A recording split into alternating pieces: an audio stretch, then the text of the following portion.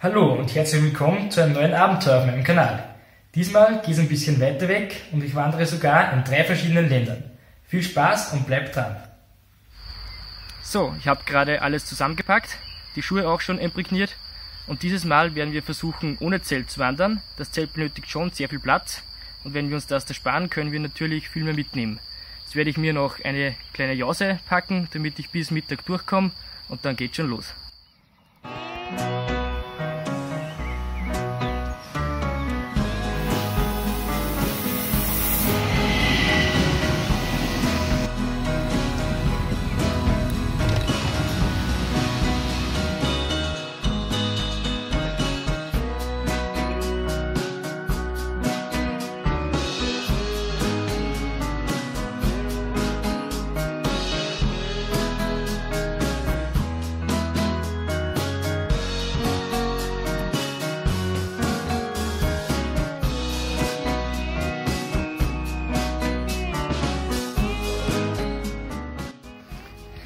Wo geht's wohl hin? Wie ihr es im Titel sicher schon gelesen habt, geht's heute in den Böhmerwald.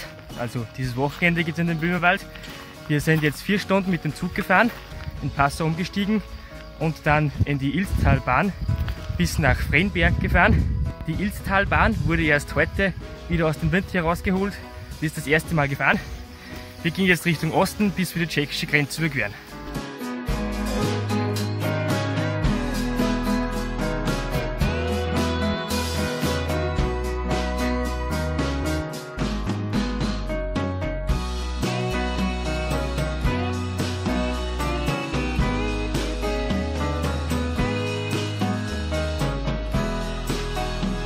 8 Kilometer sind wir schon gegangen. Jetzt sind wir in Greinet und werden gleich die Grenze überqueren.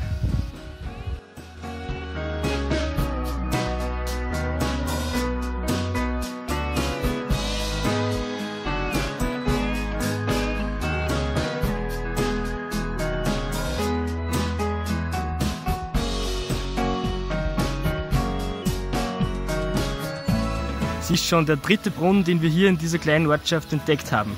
Und neben der großen Kirche, die ihr gerade gesehen habt, haben sie auch noch eine kleine.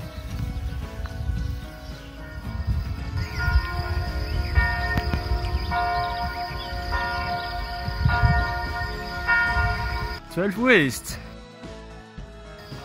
Die Kirche hat gerade 12 Uhr geläutet und es ist Zeit fürs Mittagessen.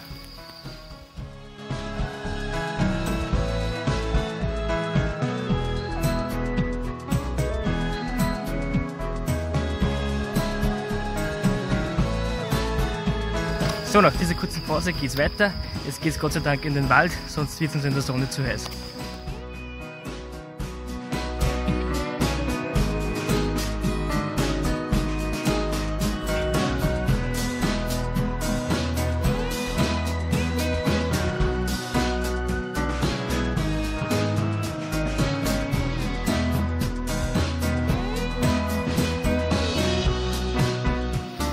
Sind gerade mitten im Bayerischen Wald auf einer Lichtung, wo zwei kleine Bäche zusammenfließen.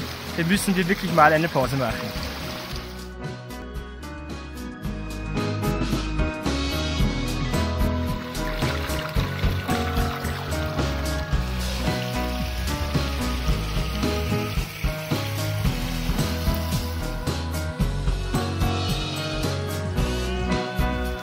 Jetzt sind wir so lange an diesem wunderschönen Ort geblieben, dass wir gleich noch eine Jause machen.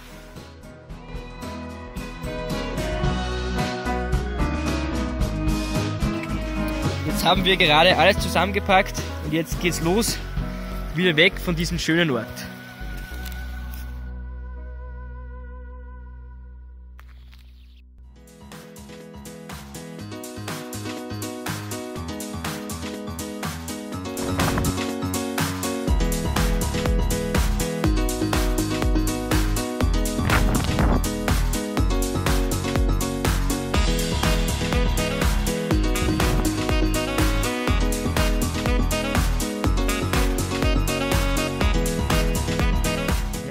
wieder mal eine Ortschaft gefunden, sind gerade in Heidmühle und werden hier auch über die tschechische Grenze gehen.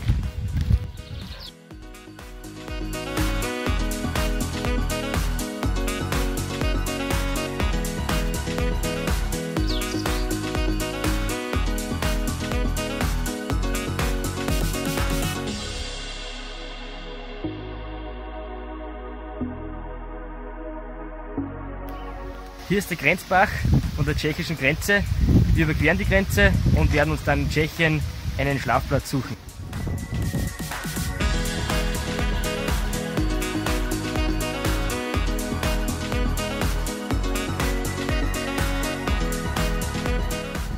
Diese schicke Dampflok haben wir hier an der Grenze gefunden. Jetzt geht's mit dem Zug weiter.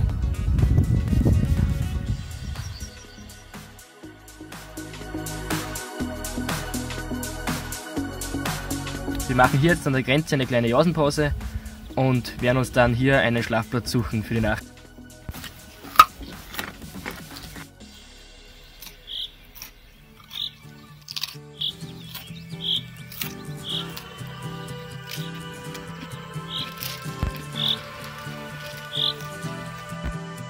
Auf dieser Bank haben wir jetzt die Schlafstätte aufgebaut. Ich hoffe, es wird nicht zu kalt. Bis morgen.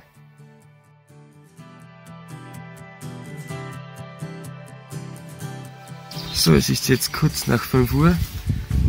Die Sonne hat uns schon aufgeweckt. Sie ist zwar noch nicht zu sehen, aber der ganze Himmel ist schon hell. Jetzt werden wir aufstehen und mal zusammenpacken.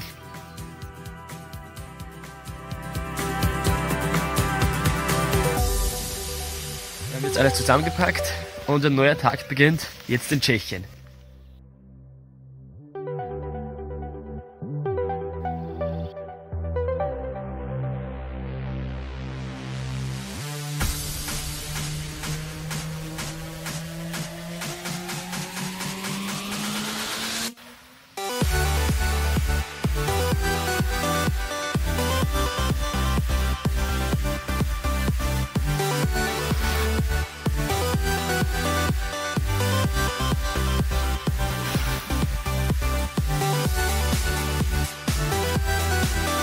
Haben wir einen Landweg gefunden, der genau an der Grenze entlang läuft. Wir werden jetzt an der tschechisch-deutschen Grenze entlang gehen, bis wir auf den sogenannten Trojmetzi kommen. Das ist ein Berg. Und da sind wir dann praktisch in drei Ländern gleichzeitig, Österreich, Tschechien und Deutschland. Und dann geht's weiter zum Moldau-Stausee. Hier sind überall Grenzmarkierungen aufgestellt. Mal schauen, ob das an der österreich-tschechischen Grenze auch so ist.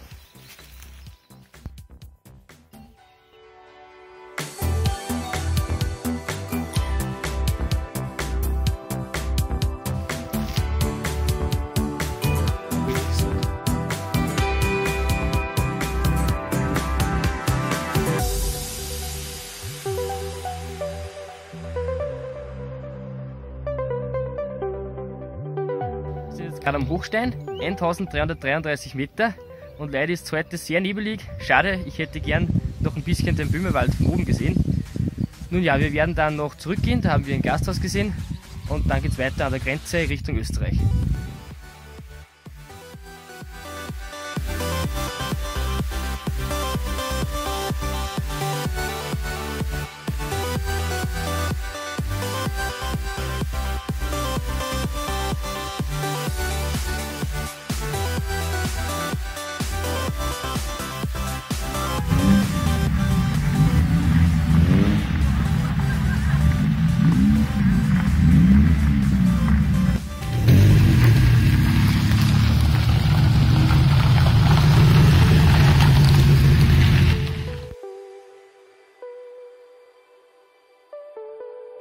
Jetzt sind wir offiziell im Nationalpark Sumava. Der Nationalpark Sumava und auch der Nationalpark Bayerischer Wald haben insgesamt 100.000 Hektar und die Waldfläche ist die größte Waldfläche in Mitteleuropa.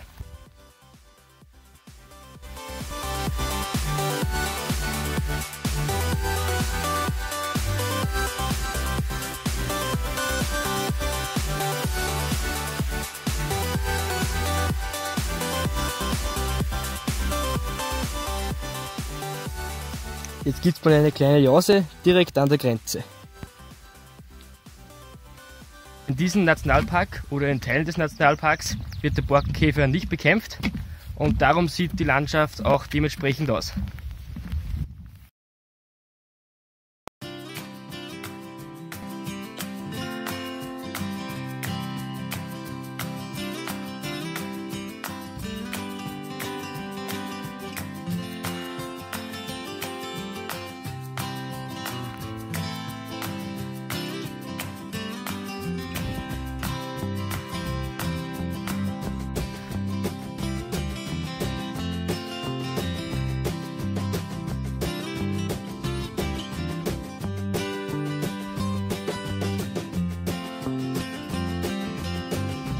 Gerade am Grenzpunkt angekommen.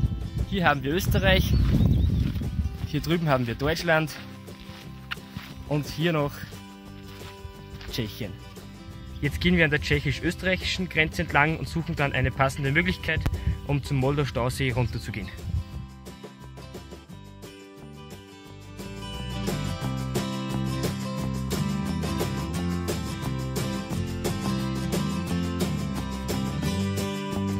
Tschechisch-österreichischen Grenze sind jedenfalls nur kleinere Markierungen.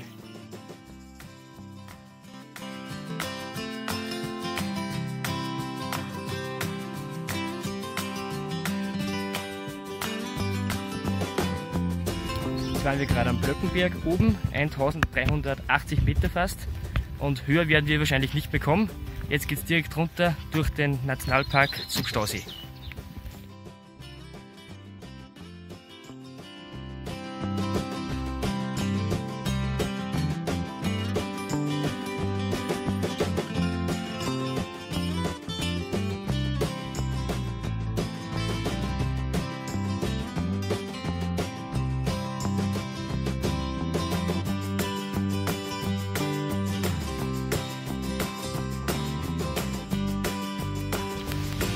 sind schon raus aus dem Nationalpark und werden jetzt in eine kleine Ortschaft namens Nova Peck gehen und dann versuchen dort ein Zimmer zu bekommen.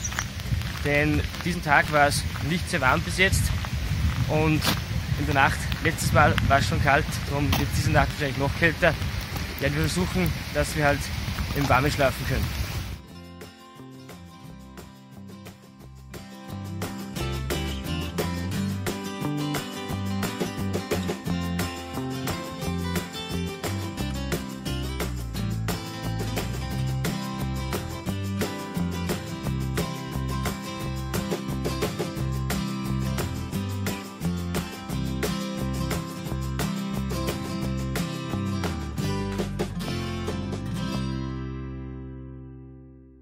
Wir sind jetzt durch die Ortschaft Novapek durchgewandert und obwohl wir bei ca. 10 Pensionen gefragt haben, ist es nichts geworden.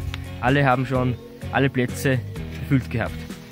Wir haben jetzt einen Holzverarbeitungsplatz gefunden und ein Förderband und da werden wir uns jetzt hinlegen.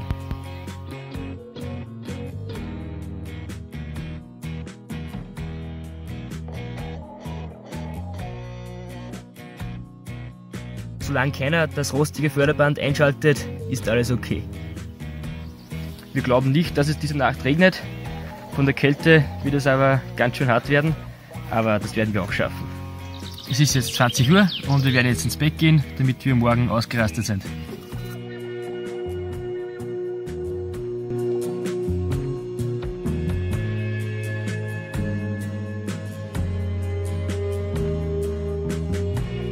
Los geht's wieder an diesem neuen Tag.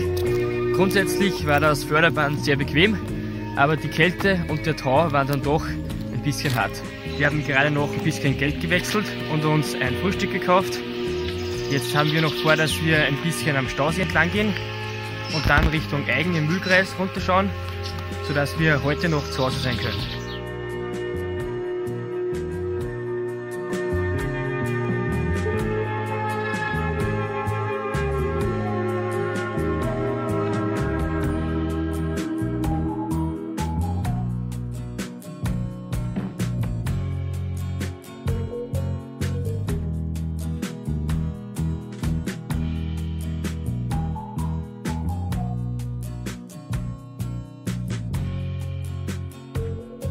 Haben gerade die Grenze zu Österreich überquert. Jetzt dauert es nur noch eineinhalb Stunden, bis wir im Bus sitzen.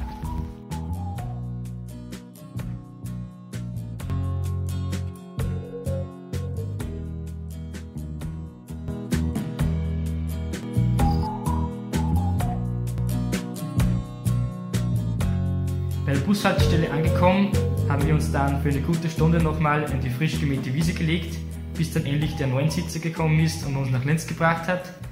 Wir haben es schon ein bisschen unterschätzt, wie kalt es sein kann in der Nacht, auch wenn es am Tag hin und wieder sehr heiß ist. Und weil man nicht immer vertrauen kann, dass man noch einen Platz findet in einer Pension, nehme ich wahrscheinlich das nächste Mal wieder ein Zelt mit.